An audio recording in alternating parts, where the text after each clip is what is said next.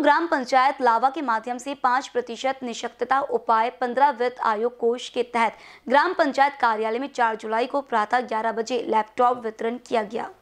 स्नेहल अरुण बिसेन और सुमित गिरिजा प्रसाद द्विवेदी को लावा के ग्राम पंचायत कार्यालय लावा में लावा सरपंच ज्योत्सन ताई सुजीत नितनवारे की अध्यक्षता में उनकी शिक्षा के लिए लैपटॉप दिए गए। उप सरपंच महेश चोखांद्रे ने बताया कि एचपी कंपनी के दो विकलांग हितग्राहियों को लैपटॉप और ग्राम पंचायत के माध्यम से 20 निशक्त जनों को बीस हज़ार रुपये प्रति माह वितरण किया जा रहा है।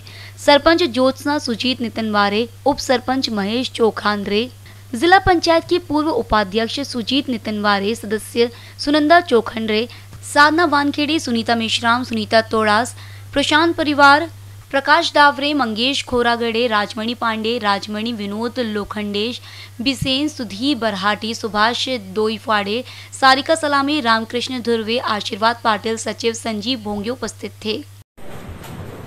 मी ज्योत्स्ना नितनवरे, सरपंच, लावा। आज इथे आपण अपंग मुलांना लॅपटॉप वाटचा कार्यक्रम केला आहे.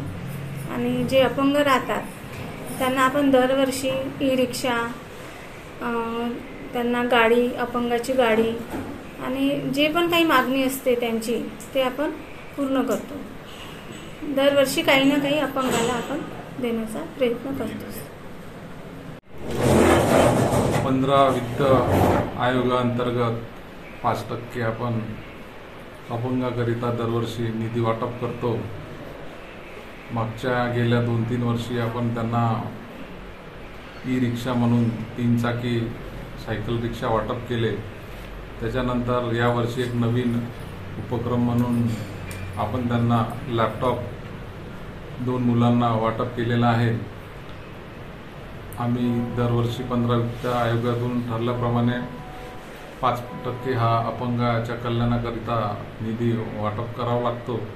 तसेच आम्ही एक जवळपास एकोणवीस वीस मुलांना दर महिन्याला हजार रुपये प्रति व्यक्तीप्रमाणे अपंगांना हा निधीसुद्धा वाटप करतो.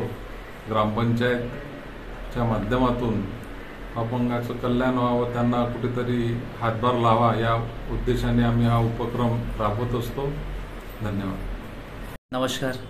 पर्सन्स विथ डिसेबिलिटी ऍक्ट हा दोन हजार सोळामध्ये पूर्ण भारतामध्ये लागू झाला होता. आणि हा जो ऍक्ट बनला होता पर्सन्स विथ डिसेबिलिटी ऍक्ट याचा उद्देश असा होता की जे अपंग लोक आहेत त्यांच्यासाठी विकासासाठी काहीतरी कायदेशीर रूल्स बनले पाहिजे रेग्युलेशन्स बनले पाहिजे आणि लोकल ऑथॉरिटीजला डायरेक्शन मिळले पाहिजे ह्या अंतर्गत हा ऍक्ट बनला होता. तर त्याच ऍक्टमध्ये असं पण लिहिलं आहे की जेवढे पण लोकल ऑथॉरिटीज आहे ग्रामपंचायत नगर परिषद जितके पण ऑथॉरिटीज आहेत त्यांना कंपल्सरीली त्यांचा जो इन्कम असतो त्यांच्यापैकी तीन पर्सेंट अपंग लोकांवर खर्च करावेच लागेल.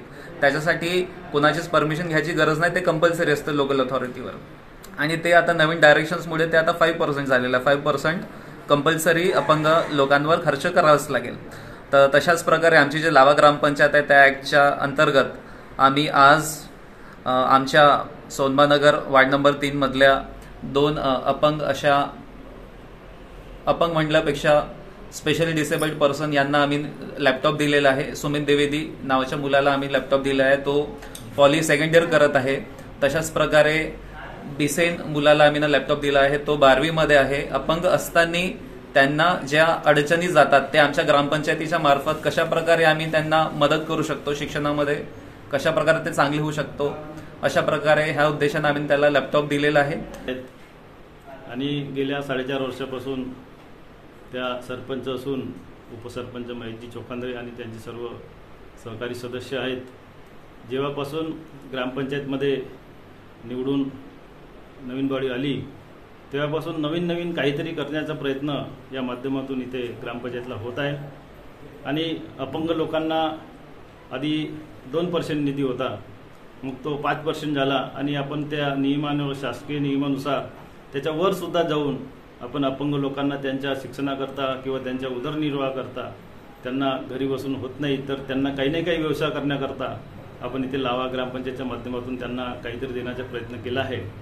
सर्वाच्या आधी आपण चव्हाण म्हणून गंगाधर चव्हाण आहे सोनमानगरचे त्यांना आपण ई रिक्षा दिला की जेणेकरून त्यांना उदरनिर्वाहाचं साधन होईल. आणि ते आता चांगल्या प्रकारे ई रिक्षा चालून राहिले. वाड़ी से एनबीसी न्यूज के लिए सौरभ पाटिल की रिपोर्ट.